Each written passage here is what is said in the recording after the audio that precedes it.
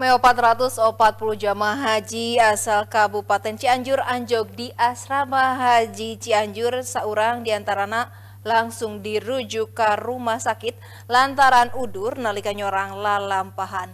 Mulangna eta jamaah haji teh dipapag citangis ke bagjaku pihak kulawarga turta kadang wargana. 440 jemaah haji asal Kabupaten Cianjur poe Jumat berang anjog di asrama haji Kementerian Agama Kabupaten Cianjur. Salah seorang di antara anak kudu dirujuk ke rumah sakit lantaran udur nalika di perjalanan. Mulang eta jemaah haji teh di bapak kuci tangis kabag jakula warga anu ngadago ti isuk mula. Ketua PP Dina jumlah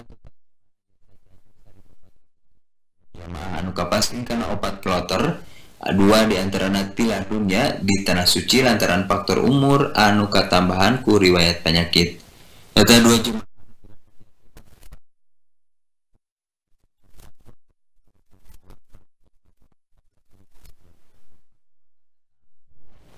Jemaah haji asal Kabupaten Cianjur sebanyak 440 jemaah tiba di asrama haji Kementerian Agama Kabupaten Cianjur.